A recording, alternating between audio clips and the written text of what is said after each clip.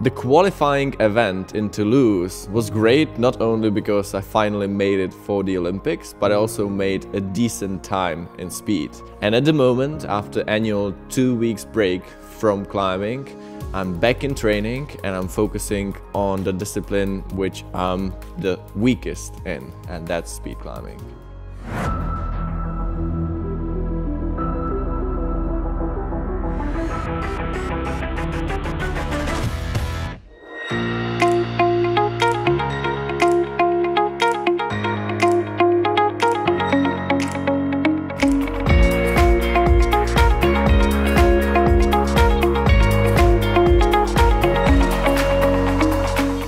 I've been training speed for the last couple of weeks with my training partner Rishat, who also has qualified himself for the Olympics in Hachioji.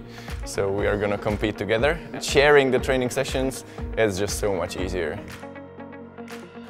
Původně jsem přijel do Česka studovat a pak jsem zjistil, že tady jsou dobré podmínky na, na to lezení, což mě docela překvapilo, protože tak dobré stěny v Kazachstánu nemáme a já si myslím, že to je dobrý trénink pro mě na tu olympiádu. Let's go running!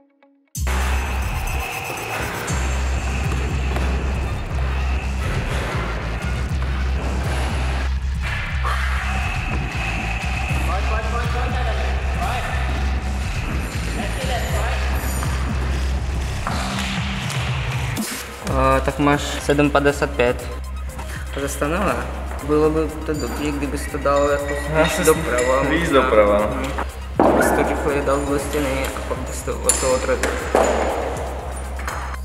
Nejrychlejší lezec, který má rekord, to je Reza z Iránu a má čas 5.46. Mým osobním rekordem je 5.88. Plánuju teď na olympiádu dělat světový rekord.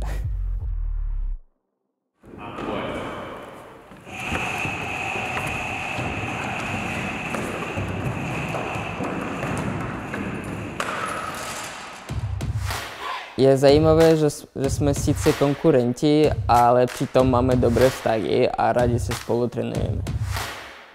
V tréninku na rychlost si určitě se nějak natočíme, abychom věděli, jak správně děláme pohyby a určitě bychom mohli se zaměřit, zaměřit tu, ten čas v podstatě, kolik teda dáme.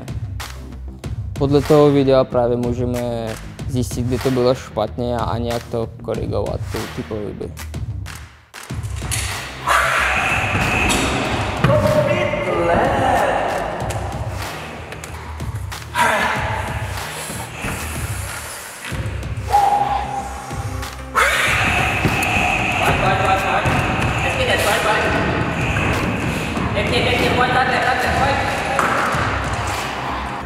Se to tady, já se tady prostě zastavím a ah, trvá mi tady. Speed training is not only just working on the fitness, on the power, but it's also a lot about the technique. And during the training, you have to work on the technique a lot, especially for me, who is basically more still like a beginner, and I have still a lot to explore in this discipline. This was actually a really good try. wow, I'm quite happy. Seems like I keep improving. Podle mě má, Adam na to má a mohl by klidně udělat čas něco po 6.50.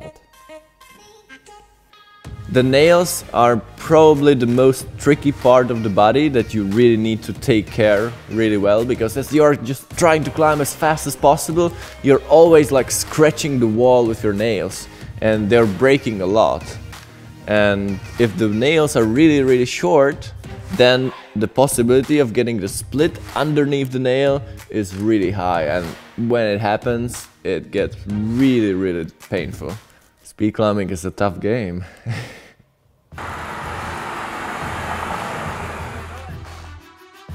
For speed climbing, you need to be really explosive, both in your arms, but in the legs as well. Tři, dva, jedna, teď!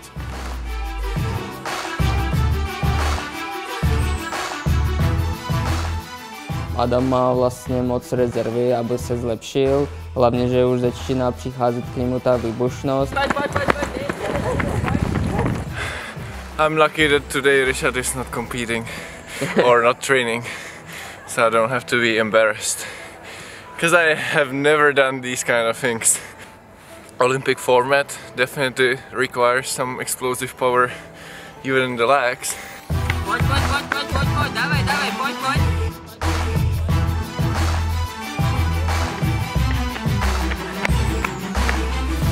Dávaj, dávaj.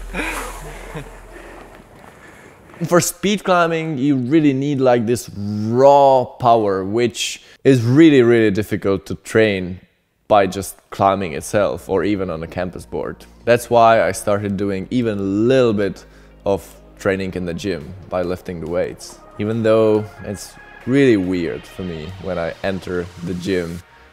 In general, in order to build this power and explosive power, you need to make exercises which are short and with quite a lot of rest. You just need to give everything into that one moment, just like speed climbing. Here in my climbing gym, we are doing various exercises focusing on the explosivity, mostly of my legs. And this is where it gets really tough because I'm looking at the campus board, looking at the wall, and I'm not climbing. And it's hard.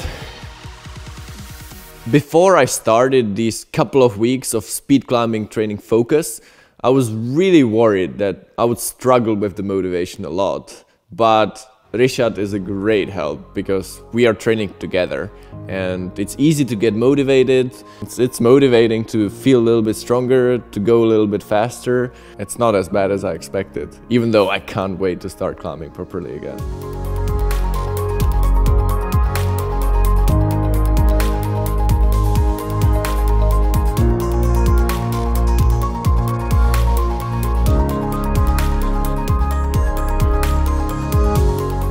Can you look forward to? In the next weeks, I'll be climbing a little more on the rock and as I want to be kind of sane mentally because speed climbing for a couple of weeks is, is not that easy. So I'm gonna go to Catalonia to climb a little bit on the rock and then I will start training properly for lead and boulder and the training is gonna be hard.